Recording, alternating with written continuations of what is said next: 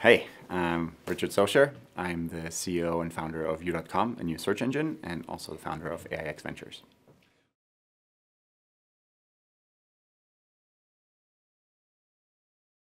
You know, a lot of people thought it was crazy because we started about two years ago. Um, and at the time, I got a lot of feedback uh, from friends and investors and, and, others saying it's kind of crazy. Google is unbeatable. Um, they have all the things, all the AI, everything. Uh, it's an impossible task. Since uh, last year, things have started to shift. Uh, last year, we've seen three waves. People saying Reddit, you know, they have to add site colon Reddit to every one of the Google queries to see real authentic behavior and, and content on the internet. Then uh, New York Times and others talked about how TikTok is becoming the new uh, Google for Gen Z. And the third wave was people saying ChatGPT is the Google killer.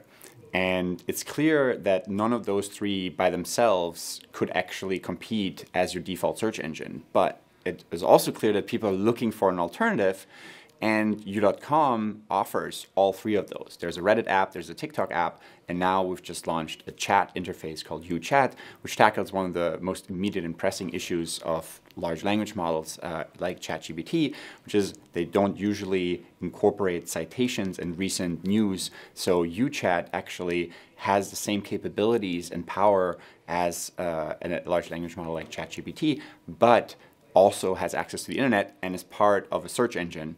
And so it's starting to be already more factual more often, but there's also, it's just a V1. Uh, we've seen a lot of interest in it and a lot of growth from it, uh, but we're going to make it better. And in the next few weeks, actually, we're going to wow people, I think, quite a bit.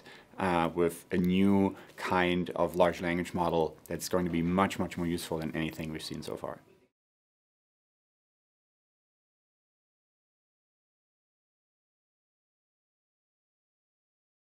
Yeah, yeah. Google has indeed been, become quite the monopoly. Uh, because of that, they didn't have to really innovate uh, for the last couple of almost decade uh, plus uh, years. Uh, and because of that, they kept wanting to just make more revenue each quarter. Of course, Wall Street wants to see more, more revenue, more profits. And unfortunately, what that meant is instead of having three ads, they just said, let's innovate and have four ads, and then five ads, and now sometimes six ads. And then after the ads come SEO'd microsites, where you know you basically have just second order effects of ads. Uh, microsites trying to funnel your traffic from Google into some other advertisement. And at some point, people got a little bit fed up and said, like, this isn't actually working that well anymore, anymore for me. It hasn't been that much innovation. And on top of that, there's like all this privacy innovation, also just to squeeze out a little bit more for ads. So, so these targeted advertisements are also becoming an issue. People find it creepy. You know, they have a conversation, they search for something private. Uh, they're on some private websites, medical sites, other kind of content that you want to keep private. And turns out Google's also there with Google tracking pixels. So people are getting fed up with that. You know, there are alternatives. There are private ads uh, that you could have, um, and that other uh, sort of more niche search engines have, um, and that we may have to explore in the future too. Though we're trying to innovate also on the business model by opening up the you.com platform. When imagine the iPhone uh, when it came out and it only allowed apps from Apple. It would have probably still been a good phone, probably better than your Nokia phone, but it would never have YouTube, it would never have TikTok, Instagram, Zoom calls, any of that. That's essentially what Google is doing to search where it's all Google's content, only Google is making money on that first page. But other companies, other organizations, other developers, people have a lot to offer, and they could contribute to that new search engine that is also connected to all the recent AI capabilities through a chat interface. And I think that will be a much more exciting future, more innovative, and people will ultimately get more done and have a better experience, be more well informed, and uh, be more productive overall.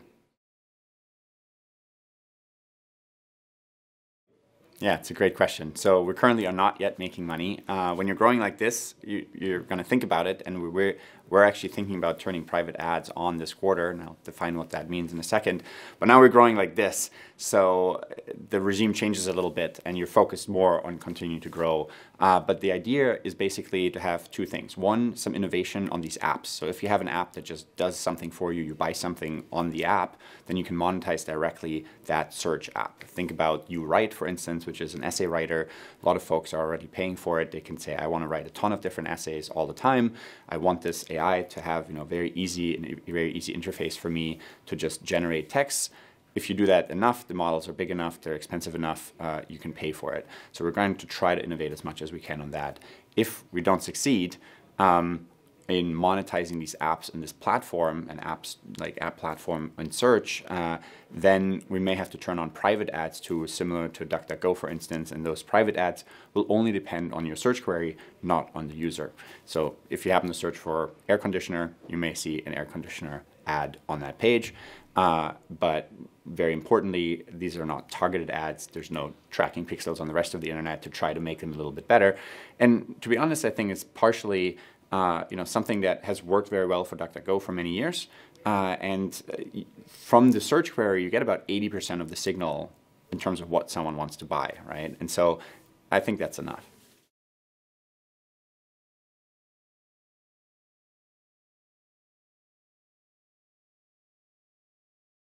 So Google never promised to have good privacy in their marketing materials. And if they had promised a lot of good privacy and then not deliver, I think you lose a lot of trust. So part of me actually doing this very interview here is to promise that very publicly so that eventually in the future, no shareholders could say, well, let's just drop that. I'm like, we would lose a lot of trust in our brand. Uh, and so, so that's that's part of it. And then the main reason Google makes more money in DuckDuckGo is they have a lot more users than DuckDuckGo. Um, DuckDuckGo is still uh, you know, a viable company.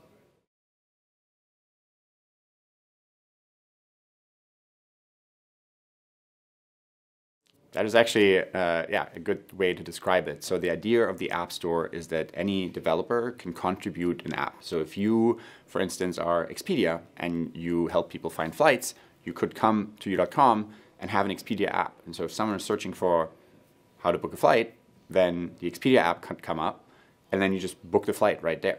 Uh, that's that's one of the goals, uh, and I think it's very important that when you have this open app platform, that users also have control. So users can actually say, I want to pin this app, I want to see it all the time in my pinned app uh, tab, or I want to see it more often because I just generally like this news source more than this other news source. No, no uh, feedback, or I want to see it less often, or I never want to see this app ever again. You know, there are a lot of very passionate folks. Some people love TikTok, some people hate TikTok, some people love Reddit, some people hate Reddit. So you actually have control over your information diet as a user by selecting which apps you more want to see more often or never, and vice versa.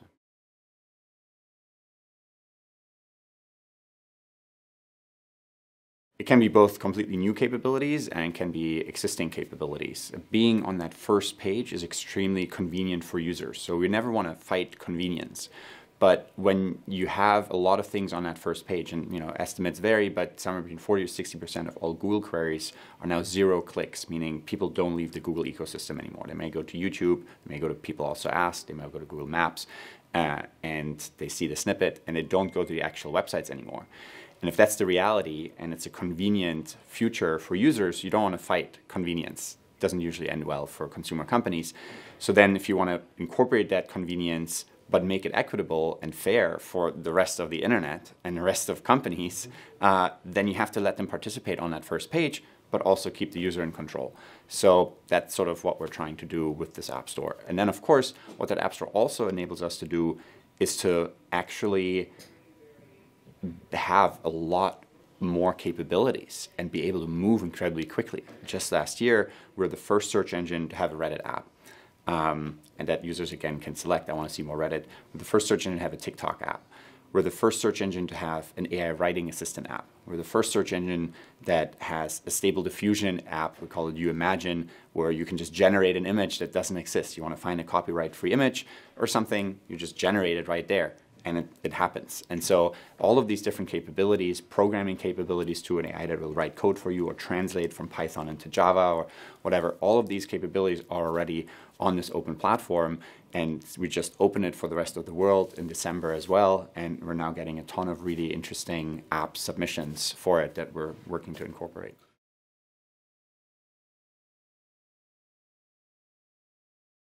You.com is completely free.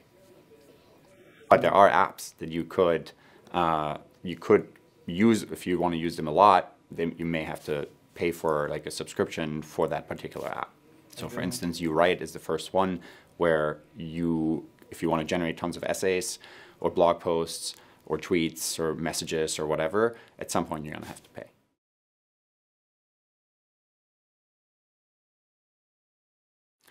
The latest, so last year we were already growing, but the latest driver of growth is YouChat. It's a new chat capability that has capabilities similar to ChatGPT, but also can pull in content from the internet, surf the web, and then summarize that content for you, and uh, and then give you also a citation for you know where that information was found. And this is something that we're still you know it's very new. It's a very new kind of capability. Uh, we want to bring that to user, make it accessible worldwide. Uh, what we're finding is that uh, there's some places where it's incredibly good and better than any other experience out there, and there's still some experiences where it doesn't work that well yet. And one thing that's clear is like whenever it gives you a few citations for each of the main facts, it's very trustworthy, it's very good, and, and uh, very useful. When it doesn't give you any citations, then you have to trust the rest of the web, web search experience on you.com a little bit more, which is not always a bad thing. You might want to ask it, write me a poem about how aliens invaded, you know, Berlin in 2030. There is no citation needed, and it's obviously like you're asking the model to hallucinate. The problem, unfortunately, doesn't always know when you're trying to jam and brainstorm on something or when you know you want to just find a real fact. So we're, we're still working on that and maybe adding like confidence meters uh, and things like that. If there are three citations, our confidence can be quite high that the model is, is very factual.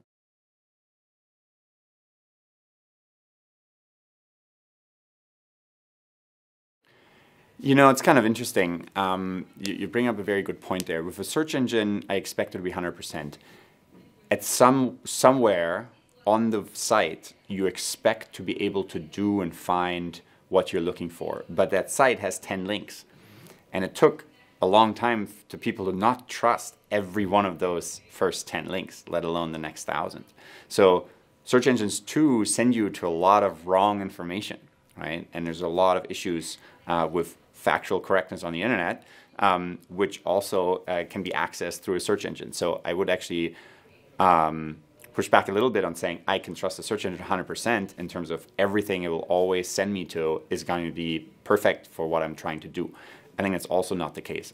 But I think for chat, because there's only one answer, the bar is a lot higher to make that one answer absolutely perfect because there's no backup, which is also partially a design question that we're currently working on.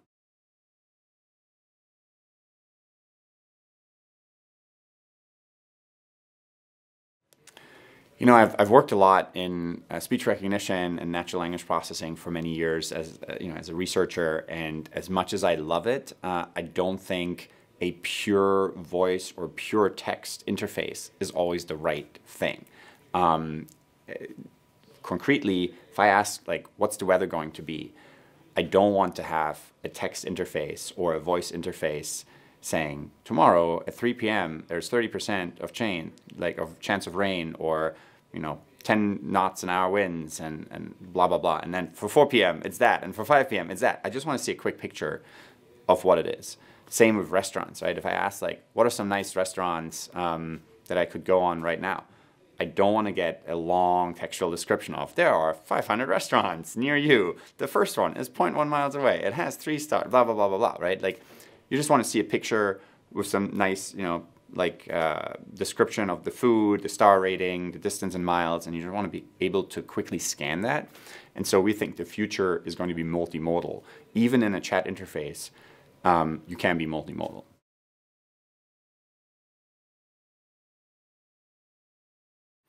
So I can't share the full vision for the super long term because it's a little bit too early, but for now, the goal is to be the best search engine for you, to make you very productive, to help you save time, help you save your privacy, to put you back into control.